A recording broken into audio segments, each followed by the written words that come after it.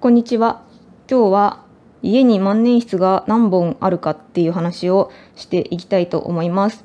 で、時々コメント欄とか YouTube ライブとかで万年筆何本持ってますかって聞かれることが時々あったので数えてみました。で、ただプレピーと書くのは多分何本かずつ持っていて何本あるか数えられてないです。書くのは EF は2本持ってるかな？M も2本ある気がする。プレピーは05は複数ありますね。色が見やすいので。という感じで今回思い出しやすくするために鉄ペン1000円ぐらいまでの鉄ペンと5000円ぐらいまでの鉄ペンとあと1万円前後の鉄ペンとあと金ペンあともう少し高い金ペンみたいな感じで分けてで思い出しつつ途中であっとか思ったら書き足しつつっていう感じで今早速気づきましたがキュリダスのキュリダスの M 買いましたね。というわけでこうちょこちょこ増えていくんですが見ていきたいと思います。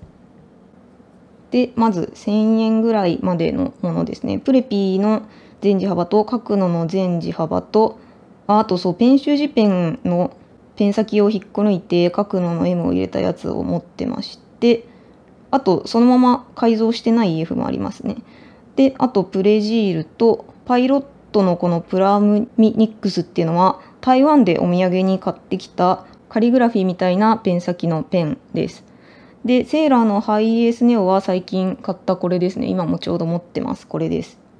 この中で気に入ってるのはプレピーの05とペン習字ペンとプレジールですかね。あと最近ハイエースネオも気に入ってます。プレピーの05は何で好きかというと書き心地がとてもいいからですね。ペン習字ペンは書くのより個人的には持ちやすい気がしています。で、プレジールも持ちやすいです。プレジールとプレピーの違いは本体がまあ、軽いんですけどこう金属なので重さのバランスがプレジールの方がいいですね。持ちやすく書きやすいです。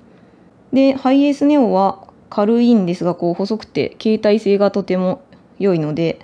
気に入ってます。あとその最近の式折カートリッジによってこうセーラーのハイエースネオすごくこう使える場面が広がったなと思うので結構好きです。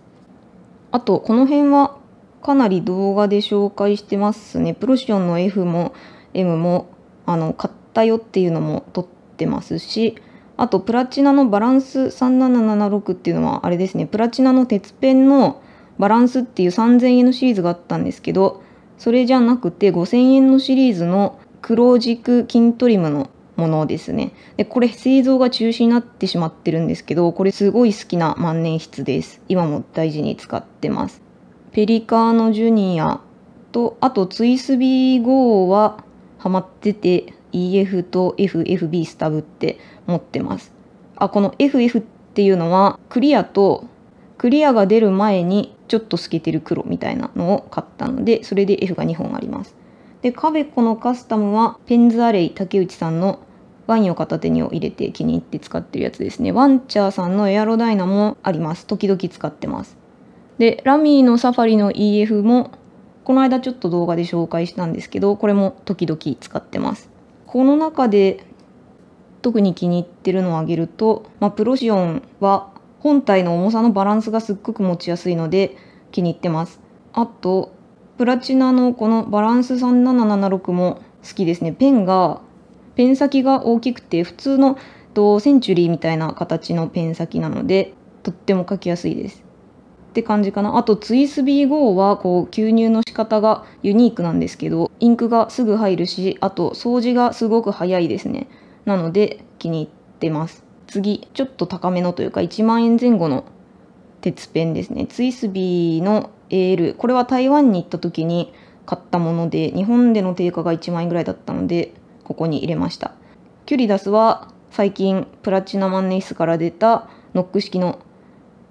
万年筆でこれは最初に EF を買ってその後 EF 便利だけど M の書き心地はどうしても好きと思って M も買いました。両方とも開封動画があります。でコンクリンのオールアメリカンも持ってます。結構ね軸が太いんですけどペン先はすごく使いやすいです。でオムニフレックスっていうフレックスのペン先も買ったんですけどとペンクリニックにまだ持っていけてなくてそれが使えてないので使いたいなと思っています。1万円ぐらいの価格帯の金ペンですね。でパイロットカスタムヘリテージ92はこれはあれですね。大阪の森田万年筆さんに行った時に買ってきたものです。であとキャップレスデシモですね。バニッシングポイントはこれは、えっと、キュリダスを買った後に買った最近の新入りの白い子ですね。でセーラーのプロムナードの十字。これは初めて買った金ペンです。今でもすごい書きやすくて使ってます。でセーラーの金ペンを中字で3本持ってるんですけどみんなそれぞれこういい感じにこうサリサリが成長してきてでこの子が一番書いてる時間が長いので多分この子が一番サリサリのこうペン先育成の最先端をいっていてやっぱりこの子の書き心地が一番好きかもしれないですね。書いてるとそうなっていくのかな。でプロフィットカラーのイエローはあの黄色と黒の色合いのものですね。セーラーの四季折の雪椿はこれは手帳用に買ったものです。プラチナの3776センチュリーの C はですね、センチュリーの極太のものですね。極太の万年筆を使う楽しさに目覚めたというか、のがこの万年筆です。で、その後、と開封動画が前後して上がるかもしれないんですが、セーラーのプロフィットスタンダード21のズームを買いました。これもね、またコースと違って、ちょっと面白いんですよ。なんかね、サインペンみたいな面白さがあって、で、インクの濃淡も出やすいし、これも気に入っています。次、えっと、1万円ぐらいの価格帯のちょっと上ぐらいの値段の金ペンは、プロフェッショナルギアのとネイビーとピンクゴールドの色味のですね、の十字と、パイロットカスタムヘリテージ912はフォルカンですね。とあとペリカンのスーベレン M1000 の細字 F っていう感じですそうですねなんかいっぱい買っ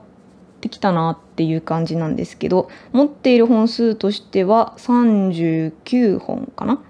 でえっとこの字幅違いを除いて種類だけでいくと26種類かなぐらい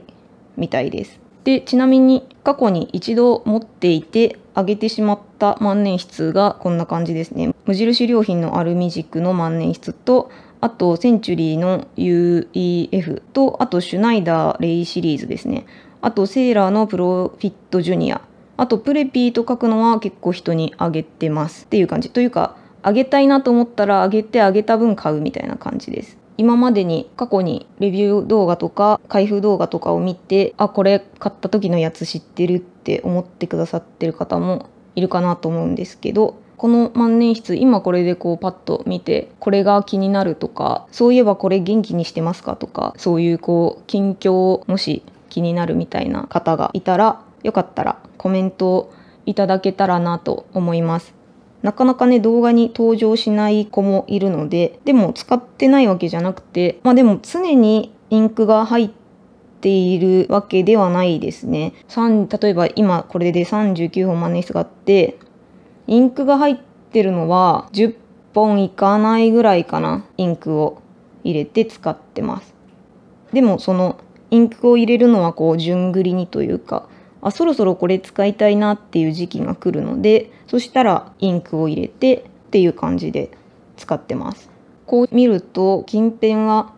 セーラーが好きで鉄ペンはプラチナが好きなんだなこの人はという感じがするんですけど最近ハイエースネオを久々に使ってみて良さに気がついたみたいにまたいろんなブランドのいろんな万年筆に出会っていきたいし気になったものが自分の生活に取り入れたいと思うものは購入したりもしていきたいなと思っています。というわけで万年筆何本持ってるんですかっていう質問時々いただく質問に対しては39本です。金ペンが多分ちょうど10本かな？持ってます。こんな万年筆を持ってますよっていう紹介でした。なんかこの動画万年筆が一回も登場してなくてすごく不思議な感じなので万年筆を登場させます急に。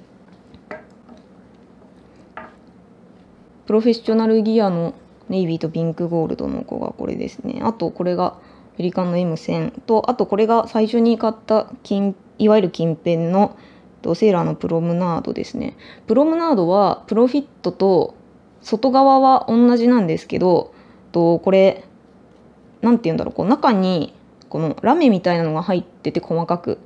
でこれが金属なんですよね。だからちょっとだけボディが重いんですよ。ちょっと本当にな何何グラムだったかな。ででもそのちょっとの差でちょっとだけこっちの方が持ちやすいです。明確に違います。あのプロフィットスタンダードとかプロフィットカラーと比べるとこれの方が持ちやすいです。